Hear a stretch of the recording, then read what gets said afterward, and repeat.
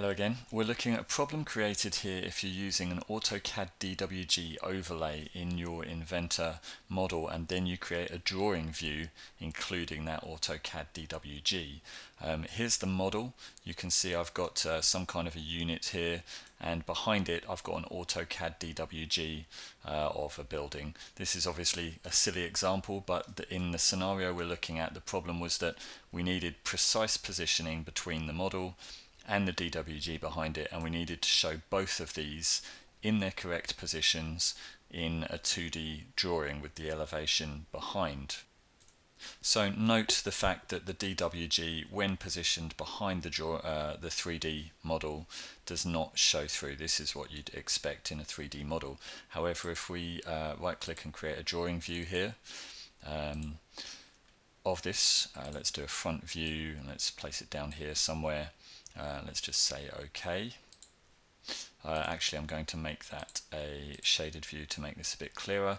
And then if I go and find the, uh, the AutoCAD DWG in there and include that, then what we should see is that the DWG actually uh, leaks through, it actually shows through the 3D model despite the fact that it is behind it. I'm just going to head back to the 3D model and crop my uh, 2D uh, AutoCAD layout here just so that this uh, becomes a bit, uh, bit cleaner. So let's hit enter there. This will crop the 2D drawing as well. So I'll just save this and if I go into back into the drawing that will be cropped as well but the problem still remains of the DWG showing through. But with a little workaround we can fix this in I think about 80 or 90 seconds.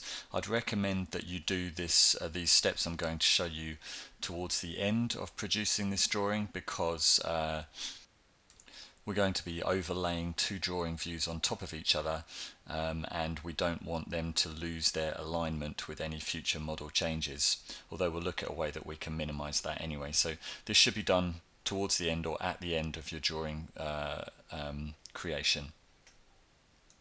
So first off we want to crop uh, only and show only the AutoCAD DWG on this drawing view. So I'm going to hit start sketch, going to pick the drawing view that I've already placed and I need to draw around the 3D geometry here. Now we don't want to snap to anything uh, despite how tempting that is because this will bring extra lines into our sketch and will make it difficult to return a closed profile uh, for this sketch. So if you hold down control while you're sketching you see it won't snap uh, quite so easily to lines so that's really important I'm going to hold control and I'm going to be quite annoying here and just um, drop it down very close to the edges here because um, uh, I don't want to snap to the actual edges. So this you know obviously involves a little bit more effort. I'm using control here to not snap uh, to the uh, to the actual model edges. And then because I want to show the AutoCAD DWG I'm then going to just draw a big space. It doesn't matter what this space is out in uh, out in an open area here. And then when I'm about to close my line here I'm going to right click and say close. And that will close that effectively that polyline that we've just drawn.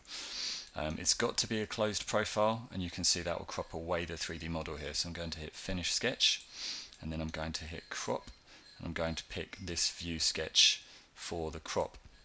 And that should remove the geometry of the 3D model and now we're ready to copy and paste this view. We have to do the crop before we copy and paste it otherwise it will come in in a different area when we crop it. But uh, quickest way of getting two views on top of each other in Inventor um, that I can think of anyway is to um, right click copy here on this view. Then I'll start a new sheet and then I'll right click paste. Then I've got a copy of that view and then I'll right click copy it and paste it back onto the first sheet um, if I can. Let's go into the let's uh, oh excuse me. Right click and copy it here and paste it back into the first sheet. Right click paste. Okay and now I can delete that second sheet. Um, and I've got two views on top of each other in the first sheet. Identical views you can see from the uh, from the tree here and now it's just a case of flipping around the second view so it doesn't show the AutoCAD DWG it actually only just shows the 3D model. So I'm going to get rid of this crop right click delete. In the second view this is, right click delete the sketch that created the crop. And then I'm going to get rid of the AutoCAD DWG in this second view as well.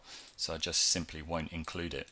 And now if I look in here I'm seeing exactly what I want which is the 3D geometry overlaid on top of the 2D geometry